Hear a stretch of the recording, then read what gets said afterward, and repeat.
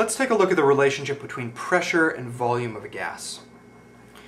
To do this, we're going to imagine that we have a container similar to ones that we've looked at before, where I've got a plunger on one end. This container is filled with gas particles, which I'll indicate as usual by these red circles here. Right now, the pressure on this gas sample is relatively low. P stands for pressure.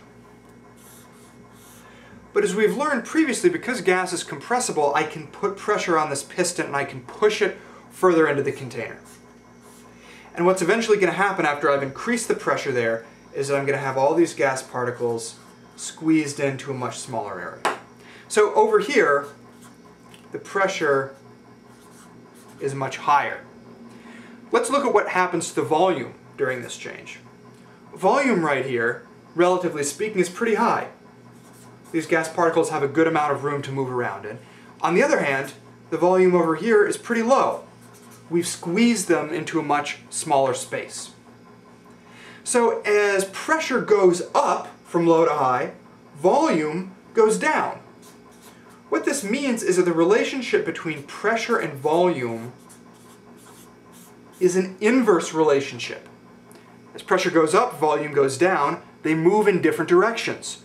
On the other hand, if pressure were to go down, the volume would be able to go up. You're familiar with an inverse relationship uh, because you see this a lot with the cost of things that you buy. As something becomes more expensive, fewer people want to buy it. On the other hand, as the price of something lowers, more and more people want to buy it. So that's an example of an inverse relationship too, things moving in different directions. Pressure and volume also move in different directions because they have an inverse relationship. Let's look at how we can actually plug numbers into an equation and use this relationship to solve math problems. The relationship between pressure and volume of a gas is described by Boyle's law, which is named after the scientist who figured out what the relationship between pressure and volume of a gas was. Boyle's law can be stated that P1 times V1 equals P2 times V2. Boyle's law assumes that we have a gas and it, it, experiences some sort of a change. Maybe we increase or decrease the pressure, change the volume in some sort of a way. So P1V1 means that the pressure and the volume before the change multiplied together. So here we have before equals the pressure and the volume after the change multiplied together.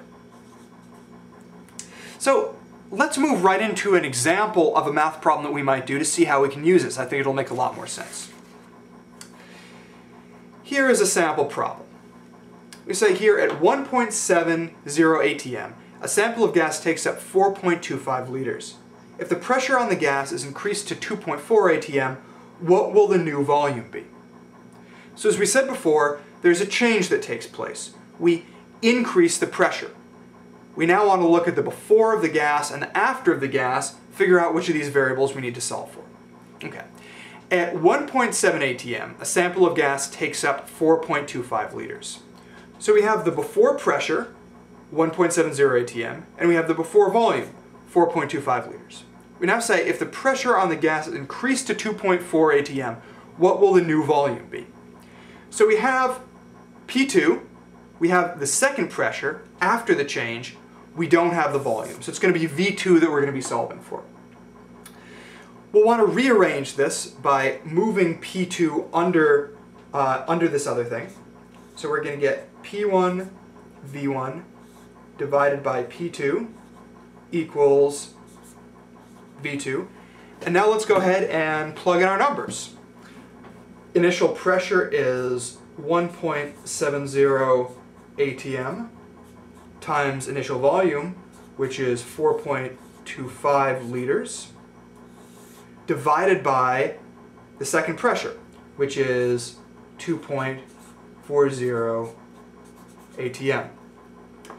Now let's take a look at how we set this up. ATM's up here, ATM's down here, which means that the atmospheres are going to cancel out we're left with liters, and our final answer is going to be 3.01 liters. before we, uh, before we call it quits, let's see if this makes sense. Well, we started at 4.25 liters and we increased the pressure on the gas, which means that we squeezed it into a smaller space. So 3.01 liters is less than 4.25 liters. This makes sense that we'd have a smaller volume after increasing the pressure. Now, if you need to learn more about Boyle's law, how Boyle figured out this relationship in the first place, or uh, want to look at graphs, or have seen something in your textbook that says P times V equals K, go ahead and look at the, uh, the more complex Boyle's law video. Otherwise, you can just move on to the next gas law videos.